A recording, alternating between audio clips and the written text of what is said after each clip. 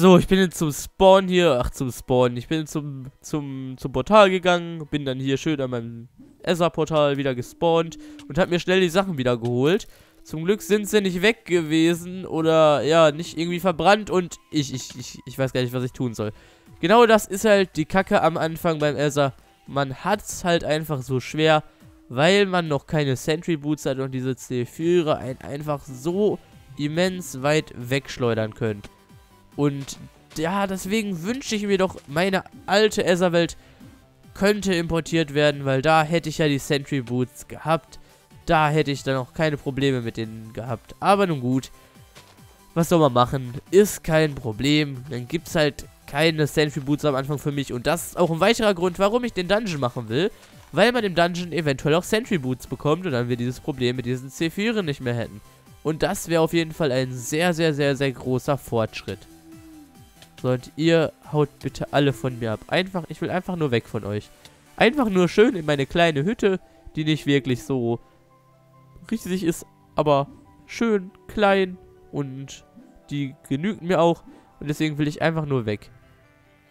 Da hinten ist auch schon das Portal. Nein, stirb. Scheiße, wir sind vergiftet. Wehe, weh, ich sterbe jetzt nochmal. Also wehe, ich sterbe jetzt nochmal. Das, das wäre absolut blöd. Einfach nur, einfach nur weg möchte ich gerade. Hinten war das Portal. Da sind auch noch die Pflanzen vom Anfang. Einfach nur hier runter kurz. So. Gut, keiner verfolgt uns. Puh.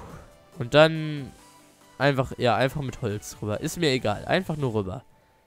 Ich möchte gerade einfach nur nach Hause. Mehr nicht. So, einfach nur die Sachen sichern. Also am Anfang seht ihr, sind wir auch noch gar nicht mal so in der Lage, überhaupt irgendwelche Erkundungstouren zu machen.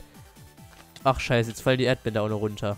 Egal, äh, auf die zwei Erdbeeren, äh, ja, scheiße ich einfach mal, auf gut Deutsch gesagt. Ähm, und ihr seht, am Anfang kann man auch sehr, ja, geringe Erkundungstouren machen oder sehr schlecht Erkundungstouren machen. Und ja, deswegen müssen wir da etwas, etwas sporadischer vorgehen. Aber ich verspreche euch, Leute, es wird noch längere Erkundungstouren geben. Und alle, die... Nein, nein, bitte nicht, bitte nicht. Bitte, bitte schieß mich nicht an und zerstör meine Sachen. Nein, bitte vergifte mich auch nicht. Hilfe. Hilfe, ich, ich, ich habe gerade gar keine Ahnung, was ich machen soll gegen die. Irgendwie, ich laufe irgendwie einen Umweg. Auf jeden Fall, ähm, ja, wissen die, die mein SR1 Let's Play geschaut haben, beziehungsweise Anfang auch, dass dort auch alles sehr hektisch und sehr chaotisch zuging. Einfach aus dem Grunde, dass ich da auch noch keine Sentry Boost hatte zum Beispiel und dass ich da erstmal noch so einen Start brauchte und einfach nur rein da, einfach nur rein da. Einfach nur die Sachen ablegen. Und noch vielleicht eine zweite Truhe machen, das wäre auch gut. Einmal bitte eine zweite Truhe. So. Und einfach, einfach nur diesen Crafting Table auch einmal weg. So. Den Crafting Table hier ablagern. So, dann einfach nur rein mit den ganzen Gegenständen. Einfach nur rein. So. Und dann... Enchanted Berry. Mal gucken, wie viel füllen die auf? Vier. Ja, das ist cool, dass die vier auffüllen. Das lohnt sich dann auch mal wenigstens. So, und... Ich muss jetzt erstmal überlegen, was ich jetzt als nächstes mache. Ich ja, wollte ja, wie gesagt, auch so einen Mix reinbringen und wollte auch, ja, etwas längere Erkundungsturnier am Anfang machen, bevor ich zu der Bauphase komme. Aber anscheinend lassen mich hier die Monster nicht in Ruhe und, ah, mir fehlen die Sentry Boots. Weshalb ich glaube, ich in der nächsten Folge das so machen werde, dass ich, ja, eigentlich direkt mal einfach in den Dungeon gehe. Wir haben ja hier Zanit, das kann ich auch mal schnell... Scheiße, wo ist der Rest von unserem Zanit? Wir haben noch so viel gesammelt. Lag da... Ach, wieso lag das denn da nicht? Jetzt haben wir nur so wenig Zanit, aber ich kann es trotzdem gerne mal zeigen. Mit dem Zanit kann man sich hier schön Zanit-Rüstung machen. Die hält nämlich ziemlich viel aus. Wisst ihr was, dann gehe ich doch noch mal kurz erkunden. Ich hole mir jetzt nämlich hier noch ein bisschen Zanit. Ich nehme mir auch Healing Stones mit. Healing Stones, so. Und verzauber noch mal kurz zwei Blaubeeren. Ähm, weil ich brauche einfach noch ein bisschen Zanit. Denn ich werde das wohl im nächsten Part so machen, dass ich dann, ja, einfach direkt zum Dungeon gehe. Dann haben wir auch direkt ein bisschen Action im Dungeon. So, du stirbst erstmal. Hm, dich locke ich kurz an. Und dann stirbst du auch. Wow, ihr seid ja zu zweit. Wie unfair ist das denn? Das kann ich ja gar nicht abhaben. Und wow, wow, das sind einfach viel zu viele. Es sind einfach viel zu viele wieder. Ihr könnt mir doch nicht sagen, dass das ein normaler Monster-Spawn ist. So viele gab es im SR1 nicht auf einem Haufen. Das sind eindeutig viel zu viele. Da kann mir doch keiner was erzählen. Wow, also das sind doch immer eindeutig viel zu viele. Einfach nur ganz schnell weg. Einfach nur ganz schnell weg. Ich, ich, ich, ich, ich sehe euch gar nicht. Ich ignoriere die einfach. Also so viele Monster waren im SA1 auch nicht. Das, das sind eindeutig viel zu viele am Anfang. Also für den Anfang, wo man noch keine Ausrüstung hat, sind das eindeutig zu viele. Ich werde jetzt, wie gesagt, probieren, noch ein bisschen Zanit aufzutreiben, um mir dann Rüstung machen zu können. Und mit dieser Rüstung, oder mit dieser Ausrüstung dann im Allgemeinen, werde ich dann probieren, in der nächsten Folge dann mich direkt in den Dungeon zu begeben und ein bisschen Action reinzubringen. Und wenn wir dann den ganzen Loot aus dem Dungeon haben, ähm, beziehungsweise dann hoffentlich auch Sentry Boots, dann können wir auch viel, viel längere Erkundungstouren machen und dann auch, ja, ein bisschen mehr Spannung sozusagen reinbringen, ach, ein bisschen mehr Spannung, ein bisschen mehr, ja, Sammeln mit reinbringen, ein bisschen mehr Farmen gehen, so gesehen und, ja, die Erkundungstouren auch länger machen und wenn wir auch dann den Dungeon gemacht haben, dann können wir auch durchaus, ja, mal an die Bauphase gehen, beziehungsweise mal unser Haus bauen und hoffentlich dann auch in Ruhe bauen, weil ihr seht ja, es ist auch fast schon unmöglich hier zu bauen, ohne die Sentry Boots, weil man irgendwie immer von so einem Kack-Schneeball weggeschleudert wird. Und deswegen brauche ich auch die Sentry Boots, bevor ich hier irgendwie überhaupt an eine vernünftige Bauphase gehen kann. Da sehe ich auf jeden Fall schon mal Zanit. Aber wir haben ja hier noch unseren Übeltäter da. So. Der ist jetzt aber weg. Und was ich jetzt gerade brauche, ist ein bisschen Holy Stone, beziehungsweise irgendwie Material zum Rüberbauen weil ich ansonsten nicht an das Zanit komme.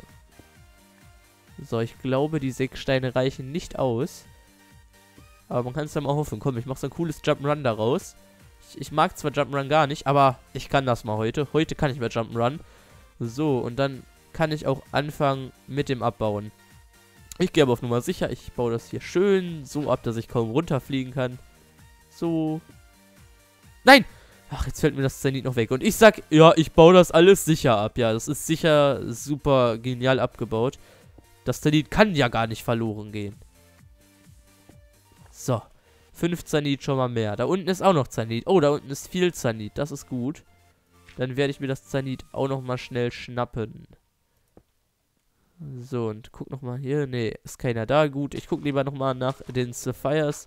Ob die nicht hier noch irgendwo auf mich lauern. Kann ja sein.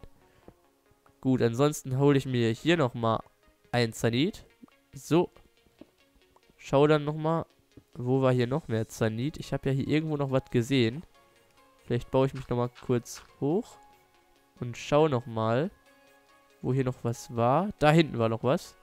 Okay, dann baue ich mich hier nochmal runter, glaube ich, oder? Wo war das jetzt? Ja, hier war das. So, da muss ich jetzt nur gucken. Der Zanit ist der letzte Block da. Also das Zanit sollte ich dann nicht direkt abbauen, sondern... Wie mache ich das denn am besten? Das ist jetzt eine gute Frage. Vielleicht so, so, so, so. Gut, so kann ich das abbauen. Und hätte dann insgesamt sieben Zanit. Sieben Zanit ist ja schon mal was. Damit kann man sich schon mal eine Hose machen. Sechs Zanit habe ich noch daheim. Mit 6 Zanit kann ich noch Schuhe machen. Das heißt, ich brauche noch 3 Zanit für einen Helm. Die 3 Zanit werde ich doch bestimmt noch hier irgendwo auftreiben können, oder? Hier, hier muss doch noch irgendwo was sein. Weil dann hätte ich eine komplette Zanit-Rüstung. Oh, hier ist ja noch viel Zanit. Das ist schön, das ist sehr schön. Und um Gravitite, kümmere ich mich erstmal nicht drum. Das, das wird schon irgendwie. Gravitite kriege ich bestimmt auch noch mal irgendwo her. Falls sie das nicht rausgenommen haben, aber ich glaube eher nicht, dass sie das rausgenommen haben, weil es ja immer noch Gravitite-Rüstung gibt. Und deswegen, ja, denke ich, dass Gravitite jetzt einfach nur noch schwerer zu finden ist, aber immer noch im Spiel ist. Und wow, hier sehe ich gerade auch noch Zanit. Das schnappe ich mir natürlich auch noch, wenn ich es hier gerade sehe. Kann man natürlich immer mitnehmen. So. Und nein. Nein. Nein. Verzieh dich einfach. Verzieh dich einfach. Ach, guck mal. Danke, dass du mir noch mehr Zanit gezeigt hast. Endlich machst du dich mal nützlich. Aber jetzt lass mich bitte einfach in Ruhe, du komisches Viech. So. Und Oh, hier ist sogar noch mehr Zenit. Das ist cool. Oh, super. Meine Spitzhacke ist noch kaputt gegangen. Und ich kann mir keine neue machen. Dann hole ich mir noch schnell hier Holz. Und du stirbst aber erstmal. Komm, komm her, komm her. Tot. Gut, da ist auch noch Zenit. Aber ist auch so viel... Gravitite, da hinten sehe ich Gravitite. Okay, okay, Leute. Okay, Leute, ich habe Gravitate gefunden. Das ist gut. Sauber. Meine Hoffnung ist nichts verloren. Es gibt doch noch Gravitate. Das ist eine coole Sache. Weil dann können wir vielleicht, ich habe da zwar nur einen Gravitate-Block gesehen, aber vielleicht ist da ja noch mehr. Und dann könnten wir ja eventuell sogar ein Gravitate-Schwert machen. Und dann gehen wir in der nächsten Folge schön in den Dungeon und kloppen die Gegner da kaputt und holen uns die Sentry Boots. Und damit können wir dann auch ein schönes Haus bauen, schöne Erkundungstouren machen und sonst noch irgendwelche Dinge, die man schön machen kann. Also da, da habe ich jetzt Hoffnung bekommen. Ja, da habe ich auch wieder mehr Laune, wenn ich sehe, yo, Gravitate gibt's noch. Das ist doch wunderbar. So, Zanit-Spitzhacke erstmal gemacht. Ja, komm her, zack, so.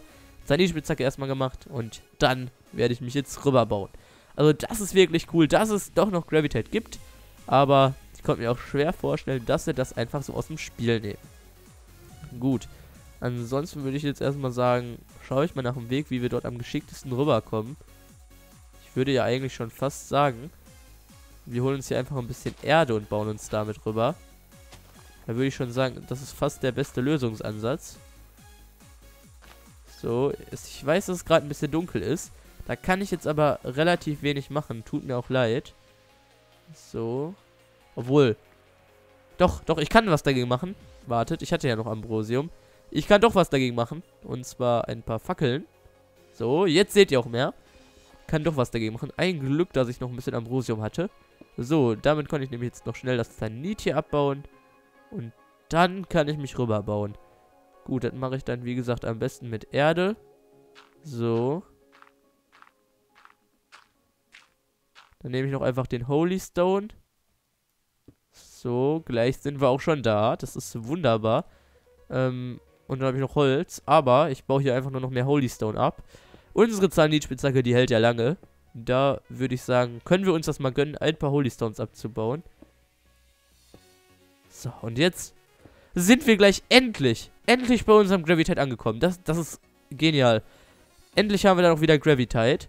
Und endlich können wir dann auch wieder ein Dungeon machen. Ich habe mich so gefreut hier auf den neuen Slider. Und jetzt haben wir dann auch bald die Möglichkeit, die Chance, endlich zum Slider zu kommen.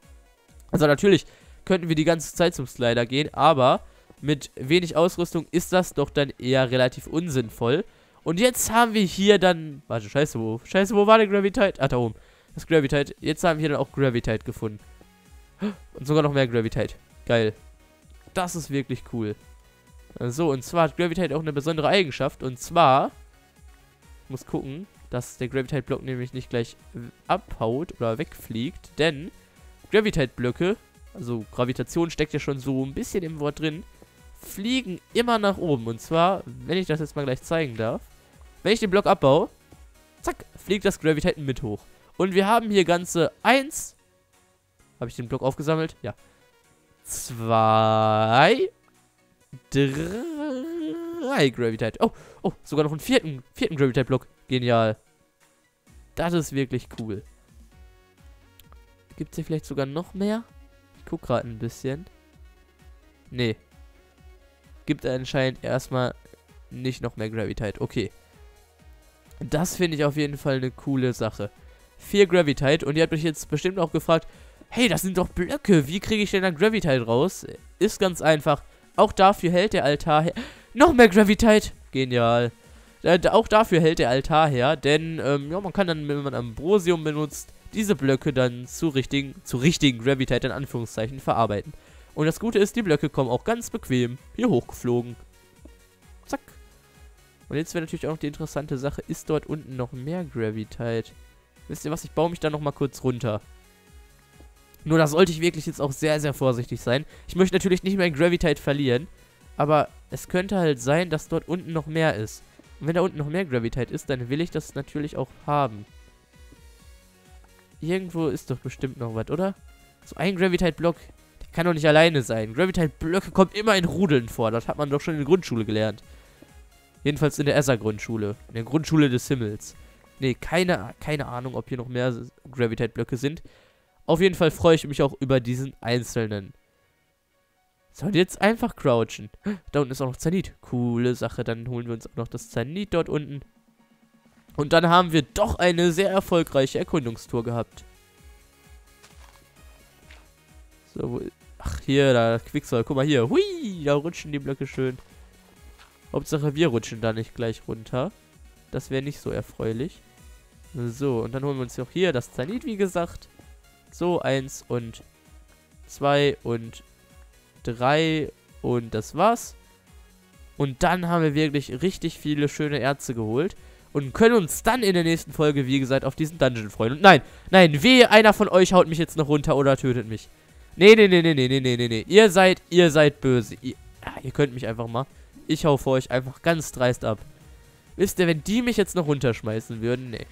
Nee, da würde ich dir niemals verzeihen. Und zum Glück kann ich dann hoffentlich bald sagen, wisst ihr was? Ihr könnt so viele Schneebälle auf mich schießen, wie ihr wollt. Das ist mir egal, wenn ich dann endlich die Sentry Boots habe. Ich hoffe, ich habe die bald, die Sentry Boots. So, einfach irgendwie rüber. Schön, schön, schön. Nein, nein, nein, nein, nein. Und ihr trefft mich nicht mit den Schneebällen. Nein, auch ihr trefft mich nicht. Nein, nein, nein, nein, nein, nein. Ihr trefft mich alle nicht. Ich bin unbesiegbar. Und jetzt werde ich wahrscheinlich gleich getroffen und bin tot. Das wäre sehr ironisch. So, auf jeden Fall hau ich auch vor dem Typen hier ab. Den hau ich einmal an. Und dann ist er jetzt hoffentlich von mir eingeschüchtert worden. Und jetzt probiere ich einfach nur hier in mein Haus zu gehen. Einfach nur rein, einfach nur rein. Ja, wir haben es geschafft. Hier kann ich dann auch mal schnell Licht machen. Sauber, wir haben es geschafft. Das ist super. Und jetzt kann ich euch auch mal zeigen, wie das mit dem Gravitate funktioniert, hoffentlich. Und zwar nehmen wir dafür halt Ambrosium und tun dann den Gravitate-Block da rein und das Gravitate-Erz und dann zack, nach vier, oh, die Textur wird auch verändert von dem Enchanted Gravitate. Nach vier Ambrosium, eins, zwei, drei, vier, kriegen wir dann Enchanted Gravitate. Alles klar, dann wissen wir auch, dass das vier äh, Ambrosium-Schatz verbraucht, das Gravitate. 1, 2, 3, 4. Und dieses Gravitate oder dieses Enchanted Gravitate ist dann praktisch das, was man nachher aus dem Erz rausbekommt. Wenn man jetzt zum Beispiel Eisenerz in den Ofen tut, bekommt man ja einen Eisenbarren. Und wenn man halt Gravitate Ore, also das Gravitate-Erz in den Altar tut, bekommt man halt Enchanted Gravitate. Und aus diesem Enchanted Gravitate kann man sich dann unter anderem auch, ich kann es euch zeigen, ein Schwert machen. Mit diesem Schwert und mit... So, wartet schnell. Mit dieser Hose. Dieser hier. Und mit diesem Helm hier. Diesem hier. Und mit diesen Schuhe hier. Mit diesem Paar Schuhe hier. Und mit diesen Handschuhen hier. Und mit dem Oberteil natürlich. Werden wir dann in der nächsten Folge in den Dungeon gehen. Und da würde ich sagen, könnt ihr euch auch auf jeden Fall freuen, ich würde sagen an dieser Stelle, ich hoffe einfach mal, dass es euch gefallen hat, auch wenn es jetzt mehr so ein Mischmasch war und wieder auch ein bisschen Hektik drin war in dem ganzen Geschehen. Also ab und zu warten wir dann hier ein bisschen am Erkunden, dann sind wir irgendwie wieder zu Hause, nach Hause gegangen, dann sind wir gestorben, dann haben wir irgendwie neue Ärzte gefunden oder viele, viel Sanit und ein bisschen Gravitate auch. War vielleicht auch ein bisschen durcheinander, aber ich hoffe einfach mal, dass ich jetzt ja auch ein bisschen die Gegend erkundet habe und auch ein bisschen jetzt für euch die Gegend ersichtlicher geworden ist. In der nächsten Folge holen wir uns dann... Stirb. Und das Coole ist auch mit Gravitate fliegen die Gegner auch hoch. Flieg! Flieg in deinen Tod. Auf jeden Fall, ja, holen wir uns in der nächsten Folge vielleicht die Mini-Bosse und auch unseren Erzfeind, den Slider, in dem neuen Labyrinth oder in dem neuen Dungeon. Und schauen mal nach, wie stark der ganze Dungeon hier ist oder wie schwer der ganze Dungeon ist. Und dann holen wir uns vielleicht auch sogar Sentry Boots und können auch mit dem Hausbau und weiteren längeren Erkundungstouren beginnen. Ich hoffe einfach mal, dass ihr euch drauf freut und würde an dieser Stelle einfach mal sagen, ich bedanke mich wie immer fürs Zusehen, hoffe, dass es euch wie gesagt gefallen hat und würde einfach sagen, bis zum nächsten Mal. Ciao, Leute.